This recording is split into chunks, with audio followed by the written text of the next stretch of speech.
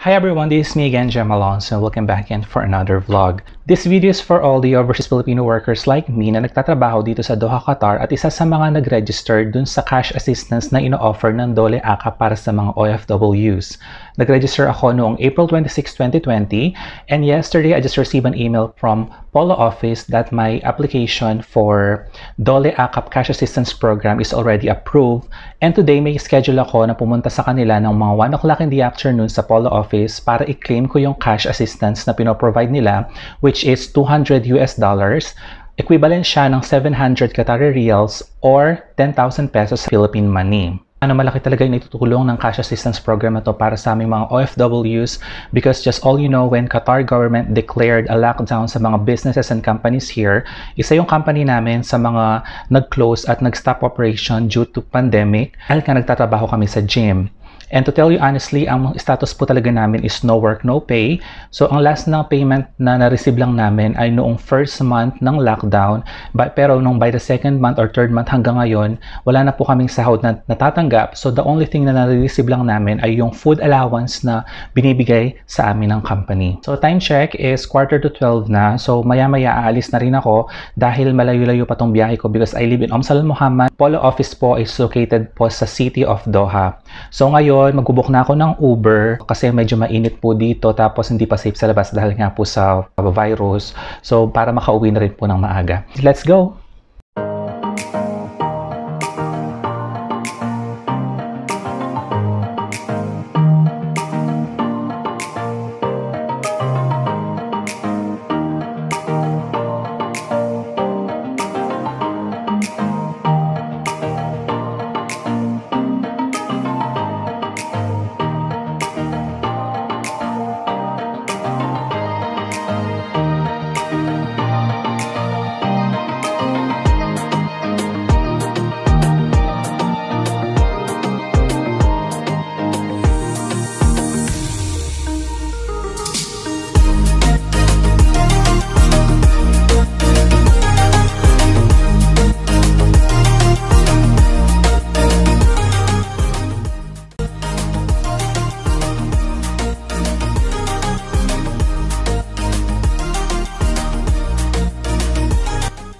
So, andito na ako sa labas ng building ng Al Jazeera Tower.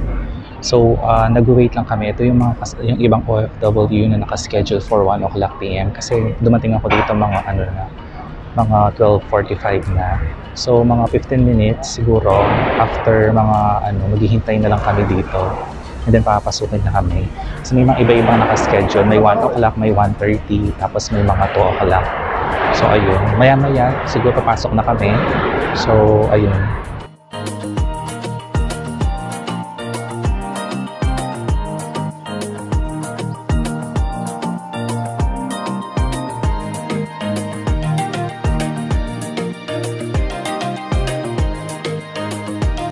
Ayun guys, nandito na ako sa labas. So, pauwi na ako. Sobrang init. So, pagbubok na ako ng Uber. Mabilis lang po yung process. Wala pang 5 minutes, binigay na yung pera. So, ayun. Um, magbubok na ako ng Uber kasi sobrang init na dito. Nasa 40 degrees na po.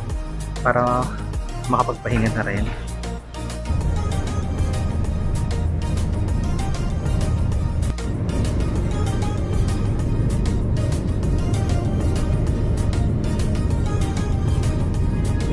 Ito guys, kakadating ko lang. So, agad akong umuwi kasi sobrang init. So, ito yung na-receive kong cash na nasa 728 real siya which is yung 200 US dollars na na-receive ko ng cash assistance para sa OWA.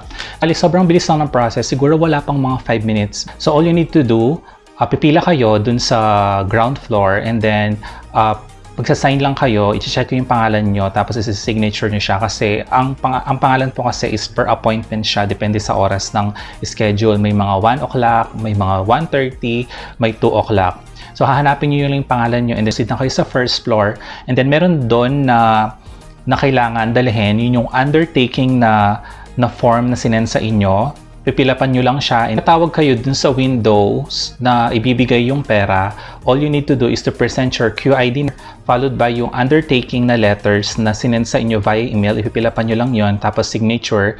Tapos meron din silang bibigay sa inyo na parang letter of agreement kung saan ilalagay nyo lang yung full name tsaka yung QID number followed by the signature. Patunay yon na parang agreement na na-receive nyo na yung pera na cash na ganitong amount. And if you want to know the process kung ano yung ginawa ko para makakuha ng cash assistance ng OWA, lalagay ko yung link sa description para ma- uh, malaman nyo yung link na yon fill out nyo lang lahat ng form and then attachment like passport, QID number, uh, passport number, full name, uh, contact details, and then isa-send nyo lang information na yon dun sa link na nigay nila. So ako lang pong mag-thank you sa OWA or sa Polo sa, sa mabilis na process na pagkuha ng cash assistance para sa mga OFW. So yun lamang po ang may share ko sa araw na ito. And this has been Jam Malonzo and thank you so much for watching my vlog. Bye!